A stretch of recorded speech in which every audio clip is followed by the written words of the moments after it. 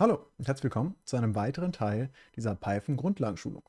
Heute machen wir weiter mit den if-Bedingungen, beziehungsweise zu Englisch if-Statements, um ein bisschen ja, Code-Logik in, unserer, äh, unsere Schulung reinzubekommen.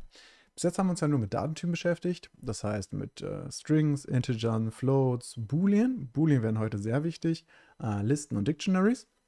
Ja, und jetzt bekommen wir eine neue Möglichkeit, um tatsächlich ein bisschen Logik in unseren Code reinzubekommen.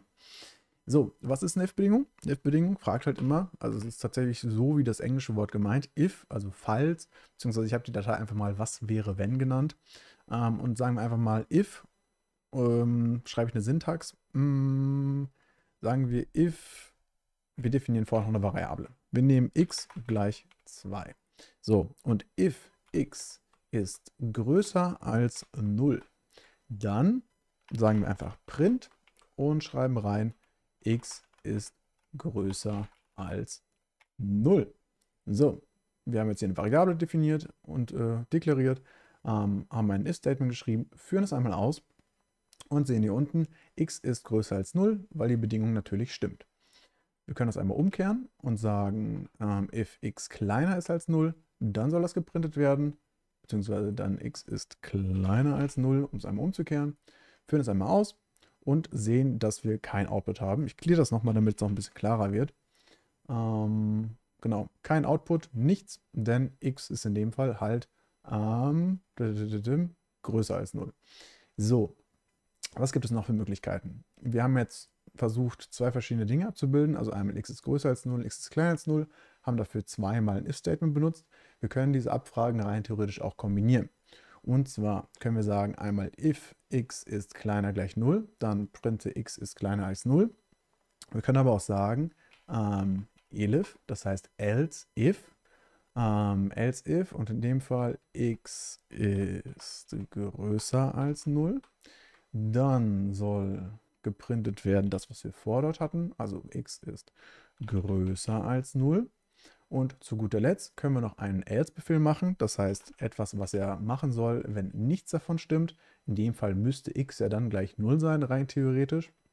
Und dann sagen wir einfach, ähm, x ist gleich 0. So, x könnte wahrscheinlich auch none sein, rein theoretisch, aber für unser Beispiel sollte das jetzt mal die Logik sein.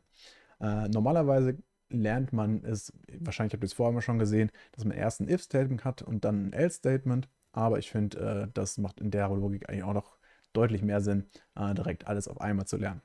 So, wir führen es einmal aus mit ein paar Beispielen. Äh, ich ziehe das mal hier hoch. Und wir sehen jetzt, x ist größer als 0, was auch Sinn macht. Wir schreiben jetzt mal, beziehungsweise definieren x als minus 2, führen es einmal aus und sehen, x ist kleiner als 0. Und jetzt gucken wir nochmal, was passiert, wenn x gleich 0 ist. Und in dem Fall ist x gleich 0. Jetzt sollen wir spaßeshalber gucken, was passiert, wenn x gleich None ist. Okay, genau, dann kriegen wir einen Type Error, weil wir None-Typen nicht mit größer gleich Operatoren vergleichen können. So, aber das ist erstmal das Grundlegende zur if-Bedingung, beziehungsweise if, elif, else, wie auch immer. So, was können wir noch verwenden? Apropos Operatoren. Wir können auch logische Operatoren verwenden. Und zwar, ähm, wir machen es am schlausten. Wir definieren ein neues x und zwar mit der Zahl 10. Die Logik kennen wir jetzt schon. Wir schauen einfach mal nach Operatoren. Und zwar wollen wir jetzt abfragen, if x ist äh, größer als 5 and uh, and x ist, äh, muss mal gucken, wie ich größer, kleiner schreibe, kleiner als 15. So, das heißt, mit diesem AND konnten wir zwei verschiedene Bedingungen äh, einmal miteinander verbinden und nur wenn dies beides gegeben ist, dann wird auch die richtige Ausgabe geprintet und die wäre in dem Sinne, x ist zwischen, ähm, ja, oder ist größer als 5 und, und kleiner als 15. Wir führen das einmal aus und sehen hier unten, ah, ich kläre das vielleicht auch nochmal, dann wird es schöner. Und wir sehen, x ist größer als 5 und kleiner als 15. Ähm, wir fügen nochmal ein, äh, ein else hinzu und sagen äh, print ähm, wir nennen es einfach mal Error. Komm, des Spaßes halber. So, wir machen aus der x, huch, aus dem x eine 16, beziehungsweise weisen der 16 der Variablen x zu, führen das einmal aus und sehen, dass wir den Error erhalten, weil äh, x in dem Fall nicht mehr größer ist als 5 und kleiner als 15, sondern in dem Fall sogar größer als 15. So, genau, das wäre ein Operator. Rein theoretisch könnten wir auch einen OR-Operator wählen. In dem Fall müsste x größer sein als 5 oder kleiner als 15. Das, ja, die Logik macht jetzt hier nicht so Sinn. Sagen wir einfach, das ist dann hier irgendwie true. Und ja, das ist, passt so.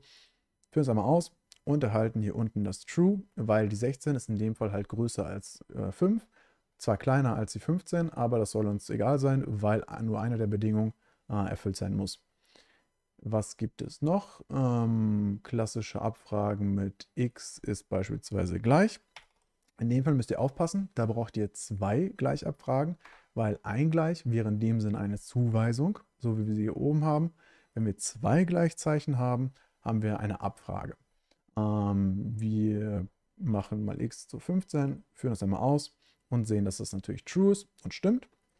Ähm, was geht noch? Natürlich geht auch größer gleich, kleiner gleich. Also beispielsweise wenn, aber da auch die Reihenfolge beachten, ähm, x wäre größer gleich 15. Das wäre ja der Fall bei 19. Führen das einmal aus und erhalten hier true.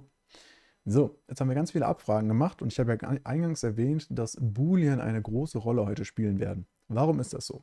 Wir können rein theoretisch das, was wir hier definieren, auch abspeichern als ein Boolean. Ähm, dafür sagen wir einfach ähm, Bedingung ist gleich x kleiner, äh, größer gleich 15 und schreiben hier einmal die Bedingung rein. So, in der Zwischenzeit printen wir auch einmal, was die Bedingung überhaupt sein soll. Und ich cleare einmal und wir schauen uns das Ergebnis dann einmal an. Ähm, ja, mache einfach mal so, führe das einmal aus und sehen hier, dass wir einmal für diesen Printbefehl, also für die Bedingung, ein True haben. Das heißt, diese Bedingung, die wir hier gerade aufgestellt haben, die wird umgewandelt in einen boolischen Wert, damit dieser von der if-Bedingung ähm, verarbeitet werden kann. So, und in dem Fall ist die Bedingung halt true, dementsprechend wird true auch geprintet, lustigerweise. Ähm, und mehr ist es am Ende nicht. Also alles andere, was wir auch davor gemacht haben, mit dem and und dem or und so weiter und so fort, das sind am Ende des Tages alles nur boolische ja, Ergebnisse, die dann weiterverarbeitet werden, also Wahrheitswerte, beziehungsweise wahr oder falsch. Genau. So, was können wir noch machen? Wir können natürlich nicht nur Integer verarbeiten, ich glaube, das ist so der klassische Fall, der einfachste Fall, sondern wir können rein theoretisch auch ähm, Strings verarbeiten oder auch Listen oder Dictionaries. Machen wir jetzt alles. Und zwar definieren, äh, definieren wir einmal einen Namen. Nehmen wir einfach mal irgendwie meinen Namen, packen den natürlich in Anführungszeichen so, was wollen wir jetzt abfragen? Ähm, beispielsweise, ob, das wäre vielleicht ein bisschen einfach, wohl doch. Ähm, wir können einfach abfragen, ob Name gleich gleich Dennis ist. So, fragen es einfach ab. Ich clear einmal, gucken, was bei rumkommt. Clear. Und los geht's. Und sehen, dass es true ist. Macht natürlich Sinn. Ähm, wenn wir jetzt abfragen würden, ob Name gleich Marius ist, sehen wir einen Error, weil der Name natürlich als Dennis definiert worden ist und nicht als Marius. Wir können auch abfragen, ob beispielsweise ein String in einem Satz enthalten ist. Ähm, dafür sagen wir einfach beispielsweise if Name in ähm, Dennis ist nett. Ähm, führen es einmal aus. Ich clear hier unten einmal und sehen, dass es true ist, weil Dennis in diesem Satz vorhanden ist definieren wir hier auch einmal wieder Marius rein, führen das einmal aus und sehen hier den Error, weil Marius nicht in der Zeichenkette Dennis ist nicht vorhanden ist. Ähm, das sind einfach, mm, ja, nicht Methoden, sondern Dinge, die in Python schon bereits eingebaut sind, wenn ihr Python installiert. Ähm, Dinge, die ihr häufig verwenden werdet, wahrscheinlich, wenn ihr coden werdet. Dementsprechend immer wieder schön zu sehen, was schon eingebaute Features sind von der Programmiersprache Python. So, wie versprochen, gucken wir uns das gleich auch nochmal für Listen an. Dafür nehmen wir einmal die Früchte und eckige Klammern haben wir ja gelernt.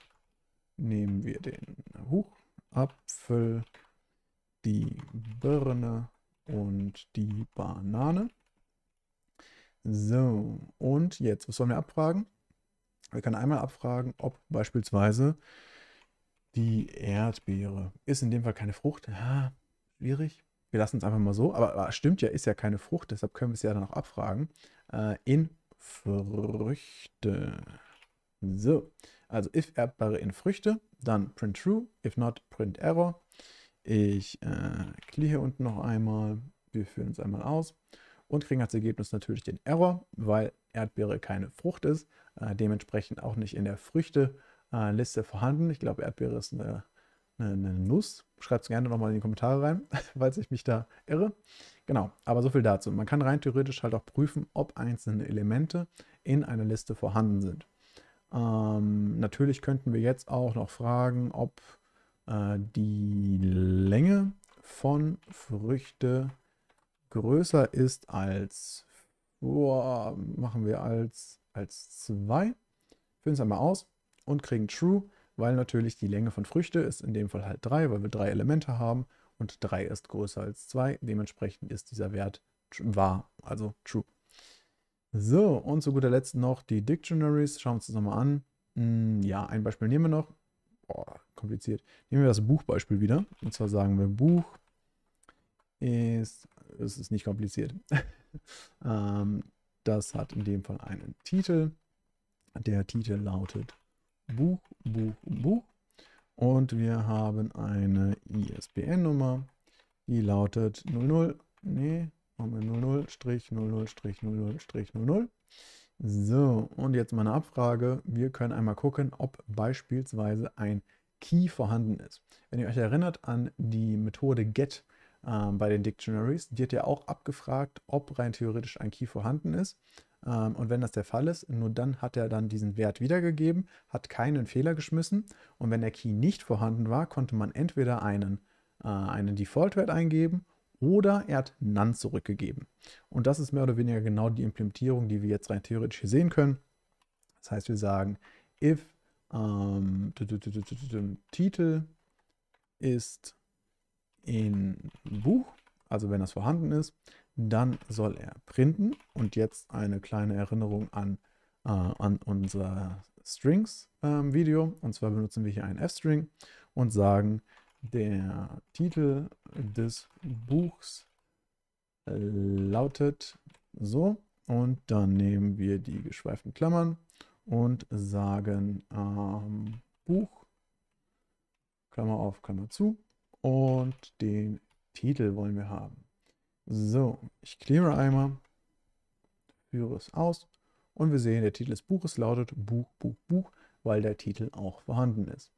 Ähm, genau, wenn wir jetzt den Titel rein theoretisch vergessen würden, ähm, packen wir noch eine else-Bedingung hinzu. else print, äh, in dem Fall mal wieder einfach einen Error, führen das einmal aus und sehen hier unten den Error, weil der Titel des äh, in dem Fall in dem Buch Dictionary nicht mitgegeben worden ist.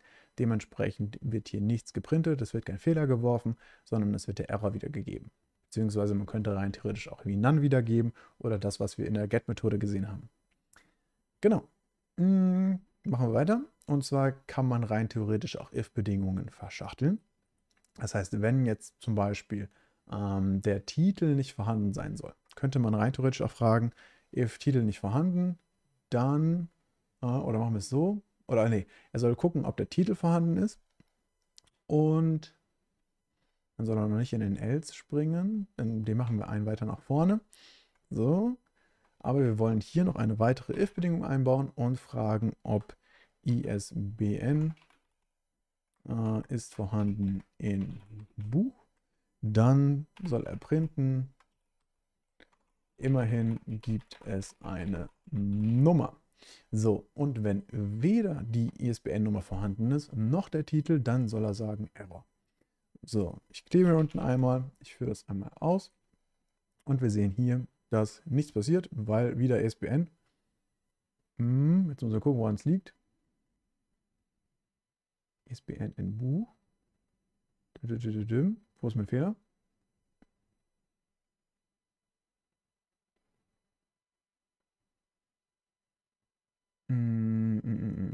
Ach so, ja, okay. Das ist natürlich ein bisschen unlogisch. Natürlich, wenn if-Titel, dann geht er gar nicht mehr hier runter rein in den ISBN. Das macht natürlich keinen Sinn, sondern er müsste rein theoretisch den Titel auch haben und dann würde er noch fragen nach der ISBN-Nummer. Ähm, das heißt, wir lernen einfach was Neues dazu. Sagen wir if not Titel in Buch. Das heißt, wir können rein theoretisch auch eine Abfrage verneinen. Dann soll er nach der ISBN-Nummer suchen. Wir führen uns das einmal aus und sehen jetzt hier Buchtitel. Ähm, also, das ist natürlich auch lustig. Das ist natürlich jetzt auch nicht mehr vorhanden. Das müssen wir auch wieder wegmachen. Führen uns einmal aus. Debugging Live. Ich muss auch mal clearen. Ich führe aus und wir sehen hier, okay, jetzt ist in dem Fall der Titel nicht vorhanden. Das heißt, wir sagen if not Titel im Buch, was auch der Fall ist. Dann if ISBN ist im Buch vorhanden, dann printe mir, immerhin gibt es eine Nummer und else print error. Und so ist es geschehen. Ähm, ja, wir können rein theoretisch die ISBN-Nummer nochmal ersetzen hier vielleicht durch irgendwas. Führen das auch nochmal aus und sehen hier unten natürlich den Error, weil weder Titel vorhanden ist, noch ISBN ist vorhanden und dementsprechend kommen wir am Ende des Tages zu einem Error. Ähm, achtet bei der Verschachtelung auf jeden Fall, dass ihr ähm, einzelne Zahlen einrücken müsst. Das ist auf jeden Fall super, super, super wichtig, ähm, weil Python so seine Syntax aufbaut und genau so funktioniert. Das heißt, wenn ihr beispielsweise auch hier, ähm, wie soll man sagen, und zwar machen wir hier einen Printbefehl rein und sagen einfach mal irgendwie Test ähm, und wollt genau diese Logik haben, schreibt aber dann hier irgendwie ähm, das so auf, dann würde er rein theoretisch immer diese if-Abfrage hier machen, weil diese if-Bedingung hier nicht mehr verbunden ist mit der if-Bedingung darüber.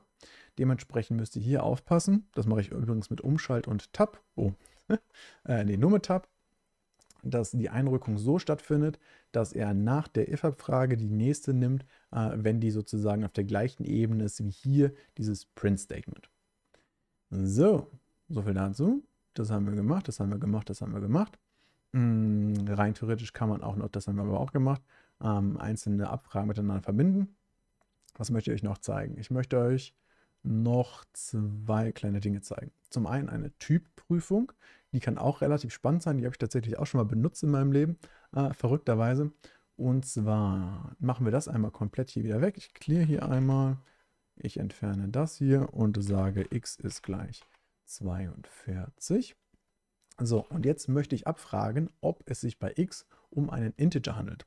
Dafür gibt es die Built-in-Function, wenn ich es richtig schreibe, is instance. Ähm, was steht hier? Returns whether an object is an instance of a class or of a subclass uh, thereof. Das heißt, wir können jetzt hier fragen, if x ist type int, dann printe mir ähm, x ist ein Integer und wenn nicht, else in dem Fall ähm, dann wieder print x ist something else. So, führen das einmal aus und bringen hier x ist natürlich ein Integer, weil x äh, sich um ein Integer handelt. Perfekt. So, und dann gut zuletzt, äh, zu guter Letzt möchte ich noch euch eine if-Bedingung äh, zeigen, die ihr innerhalb von einer Zeile schreiben könnt. Wie machen wir das genau? Und zwar funktioniert es wie folgt. Wir sagen beispielsweise Status. Wir wollen die Variable Status füllen. Das ist in dem Fall ein String bei uns. Ähm, und wir wollen reinschreiben, ob die Person, auf die sich dieser Status bezieht, minderjährig ist oder erwachsen.